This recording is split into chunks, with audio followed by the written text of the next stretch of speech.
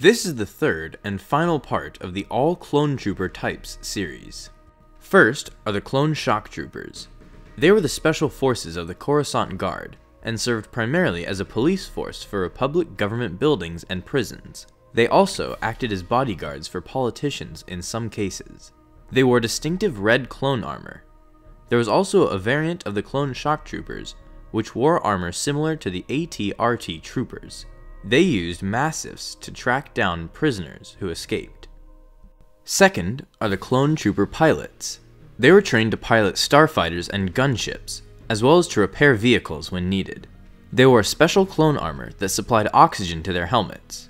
In the later years of the Clone Wars, they wore a unique helmet that was not fully enclosed. Third are the clone tank gunners. They were trained to operate cannons and guns on tanks, warships, and artillery cannons. They wore regular clone armor that was outfitted with additional armor padding on their chest and shoulder plates.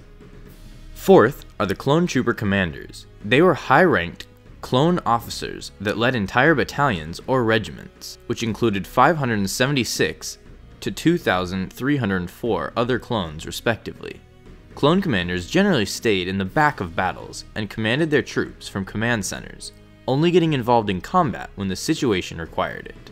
Initially, clone commanders were recognizable by their yellow markings, but this was later changed when clone commanders were assigned to specific clone divisions. Fifth are the clone trooper captains. As high ranking officers, they led entire clone companies, which included 144 other clones. They acted as diverse leaders and fought with their men in the front lines. Initially, clone captains were recognizable by their red markings, but this was later changed when the clone captains were assigned to specific clone divisions.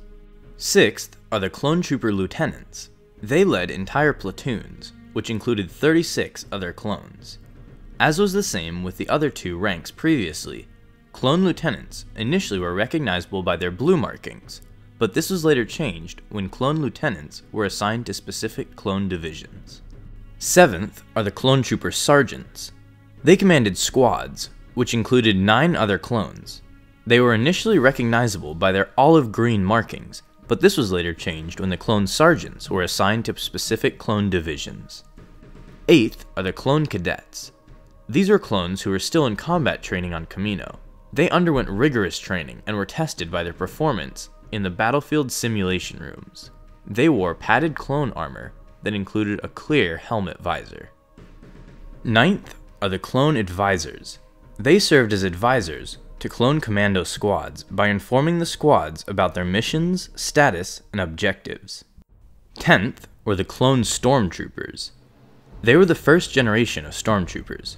They initially wore the Phase 2 armor, but it was later replaced with the standard stormtrooper armor.